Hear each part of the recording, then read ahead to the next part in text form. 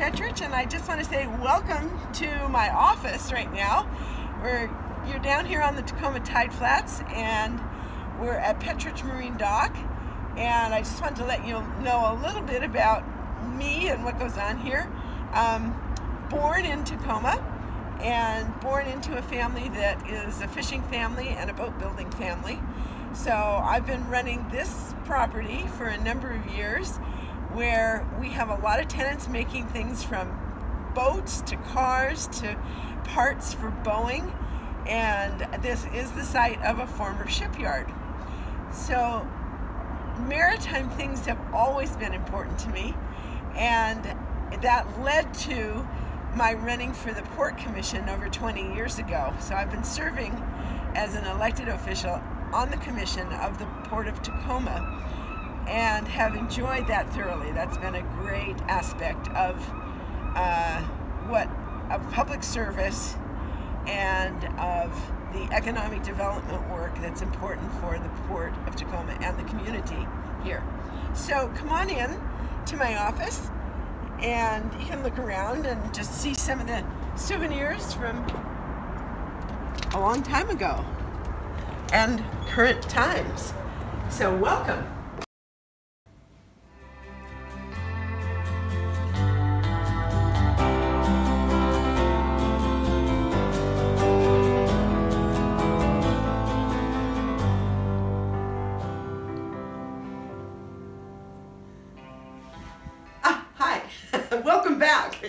Here we are inside the office, and I, I, was reflecting on um, how is it that we do the things that we do in life sometimes. You know, it's never for me. It's never been quite expected, or there's never been a clear trajectory of starting in one particular job and leading to another. But in a way, what surprised me about my own life is how it has led back to my ancestors and my origins my grandfather was born in Croatia, came here as a boy. He was nine years old when he came to Tacoma and became a fisherman and a boat builder. So always as I was a kid growing up, I was going out on boats, learning how to row, learning how to run boats, and then also um, participating in coming into the shipyard and seeing, seeing boats being built all the time.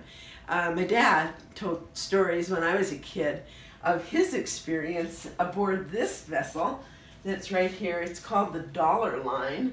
And um, when he was about 17 years old, he boarded this ship and went around the world aboard this ship as a sailor, a seaman, and then came back to Tacoma and got involved in the family business where they were building boats.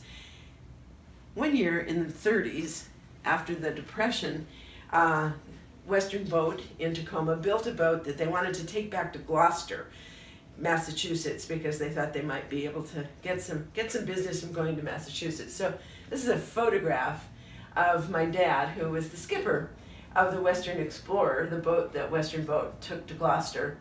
And uh, that was a pretty exciting trip. There were thousands of people in Tacoma that went down to Point Defiance and saw the Western Explorer as it left to go through the Panama Canal. And they had a radio broadcaster on board the ship, which was kind of a big deal at that time because people weren't doing ship to shore recording and then having it play on the radio so that people in Tacoma could hear the stories of the Western Explorer as it went down the coast from California through the Panama Canal around Florida and up the east coast of the United States until they finally were greeted by the mayor and lots of people in Gloucester who were very excited to see the designs of the fishing boats from the west coast. So this is my dad. These are the stories he used to tell about going to China, everything that he saw when he was a young man aboard the ships, and I think they inspired me to want to see the world and be part of the world and also keep the maritime heritage going.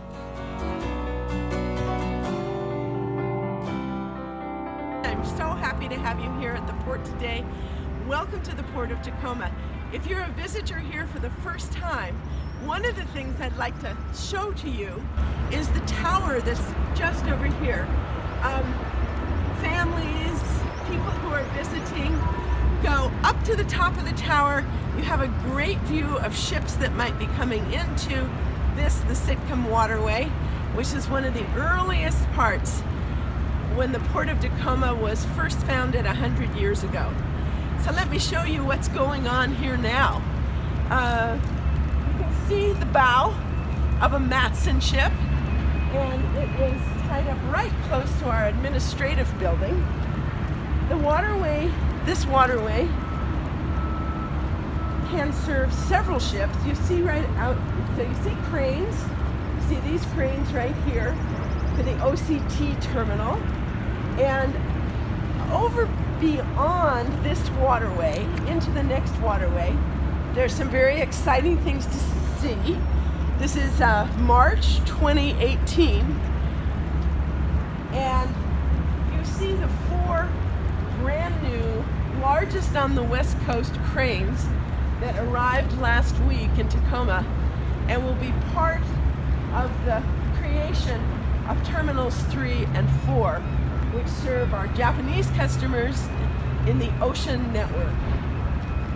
So, standing right here in the parking lot of the Port of Tacoma admin building, Sitcum Waterway, you get a great sense of what trade is about. You see the containers that have goods in them and the goods that they're loaded with for export and import. And you basically see terminals and a port that's ready to serve the customer. We are at the port's administrative building. We're about to go inside. Um, you'll see the sign here that talks about the clean truck office.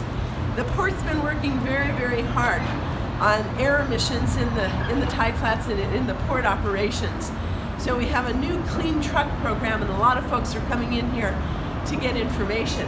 Come walk with me and we'll enter into the, the Port of Tacoma and to its administrative and headquarters building. You enter in, uh, commissioners are shown in pictures up above you. There's material for you to get, but if you're coming into the port and you need to know about the security, you'll get a pass and you come through these two towers right here into the administrative building. That's what we're trying to do. Alrighty, gents. Copy. Oftentimes we have meetings here, people can meet here, or there are some great things that are going on for you. We have already chosen for you, so I hope that's okay. I don't know, what do we get? We got a waterside port oh, tour. Oh, good. So we'll go out on a boat for a few hours. Great.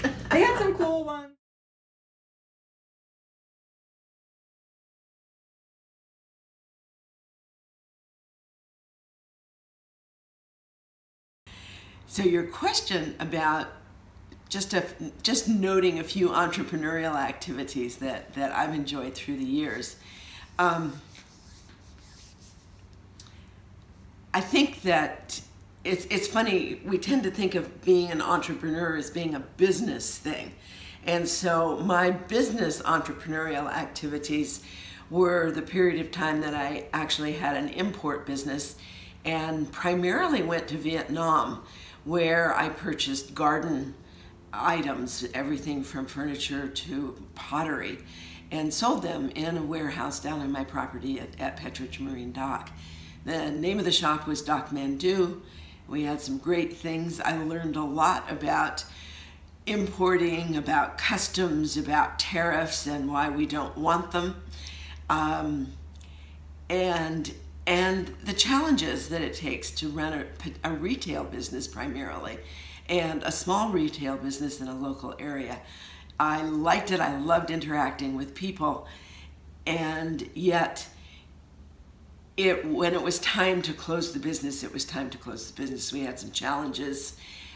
Being in the tide flats was great until the 11th Street Bridge was closed and customers couldn't find us anymore. So we moved up to 6th Avenue and opened up a shop there. And that was fun. It was good, but it was it made it very different from being the kind of warehouse stores that we had enjoyed originally setting up. So that was Doc Mandu, and that was a great experience. And I think people should should have those experiences of importing and also of manufacturing here in the United States and exporting. Don't be afraid of doing business in the world because it's just doing business and it's all about relationships with people no matter where you are. So if you take that to another level, which, which is the idea of entrepreneurship being trying something new and trying something new in a governmental aspect, then I'd say that the creation and the development of the Northwest Seaport Alliance has been an experience that I will always treasure um, for years and years. I've been on the Port Commission since 1996, and for years the Port of Seattle and the Port of Tacoma competed with one another. When we began to look at what was happening in the industry, how it was changing, and how the competition between shipping lines was affecting uh, the, the building of the size of the ships, the alliances that were being formed by shipping companies, we had to look at what was happening in the Puget Sound area. And what was happening was that the Port of Seattle and the Port of Tacoma competing over getting these shipping lines to come and call at our ports were basically killing each other. Um, we had huge investments to make to meet the demands of our customers who needed larger terminals, larger cranes, uh, and more speed and, and productivity in our in our ports. So we began to talk together, the Port of Seattle and the Port of Tacoma. It required approval by the Federal Maritime Commission to allow us to meet together. And uh, we began by examining what was happening in the industry and trying to figure out if there were ways that we could cooperate and collaborate. We had been collaborating on political items, uh, things like the harbor maintenance tax, and trying to get that changed, but we'd never looked at doing business together. So after two, three years of conversations where we examined carefully what was happening in the industry and what we saw our future being, we started dealing with the real nitty gritty parts of governance and how the alliance could actually work. The outcome, the determination of it is that because we are we are elected from counties, we are five commissioners in Pierce County, five commissioners in King County, that if we wanted governance to work, we were going to have to have it on an equal basis. So the managing members of the Northwest Seaport Alliance are the five members of the commissions from Seattle and Tacoma. We did the same thing with our assets, and we've done the same thing with the way that we operate, so that we put in the value of our assets as the terminals that we operate of, out of. Each of them are equally valued, so that what makes up the Northwest Seaport Alliance is 50% Seattle, 50% Tacoma. Uh, investments that we have to make we're making 50% from each of the home ports. And then returns on those investments, losses or profits on it, are returned to each home port 50-50. So there's a third idea of entrepreneurial stuff, which is which is is creating a community, I guess, or creating an event. And I'll tell you the story because it's one of those surprising things that happened. I happened to be um, in Taipei for a very short period of time, and a newspaper was delivered to my door. There was a photograph on the front page of the Taipei News, and, it's, and it, it showed the winners of a dragon boat race. Um, I cut that picture out because when I looked at it, I thought, my goodness, that looks like fun, and I think people in Tacoma would like to do something like that. I'd never heard of dragon boat races before. So I cut out the picture from the paper and carried it around in my wallet for a number of years, knowing that somehow, some way, I was going to be able to find some dragon boats to bring back to Tacoma. Um, there were a few false starts. There were some folks that uh, in a Kiwanis club that considered sending us some boats, but then nothing happened. And and uh, there was an attempt then for us to go to our sister city in Fuzhou and look for a boat builder who might be able to come to Tacoma and build boats. So in the process of raising some funds to do that, we actually met another entrepreneur who, who had a, um, a marina on Hood's Canal. And in his garage there, he had two dragon boats that he was anxious to see being used. So people in Tacoma were given these dragon boats, traditional, beautiful wooden dragon boats from, from China that happened to be here. And we had the opportunity to use them. So what did we do to use them? Well, we had a maritime fest going on, and uh, I called up the city and I said, this, the Port of Tacoma challenges you to a dragon boat race. And the city manager said to me, oh, we'll beat you. I've got firemen and policemen. We can win a race. I said, okay, you just wait. We're still challenging. So then I had to go to the port and say, the city's challenging us to beat them in a in a dragon boat race. And so we got teams and we called, put out a call everywhere for people who might want to learn about dragon boating to come and play. And we had our first race, our first team, and it was a demonstration. And we kind of thought, well, who knows what will happen after this? What happened after that was that we were invited to participate in the dragon boat races in China. And that required us to basically really learn what we were doing and how to do it. So people got committed. Um, we had great help from the Puyallup tribe because they were involved in the canoe journey and they were they were paddling often and helped us to to learn how to paddle our dragon boats. We went to China and came back, and people wanted to continue this. So, dragon boating has now become a fixture on the waterway in Tacoma. And it's been probably close to 20 years now that thousands of people in Tacoma have had the opportunity to do dragon boating.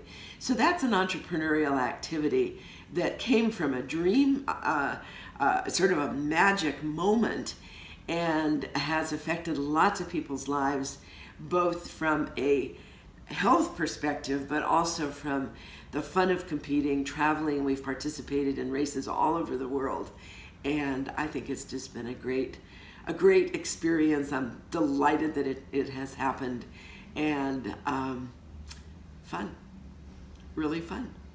Maybe that's the whole point of entrepreneurship.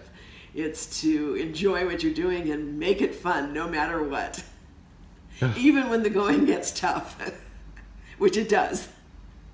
So just don't forget the fun.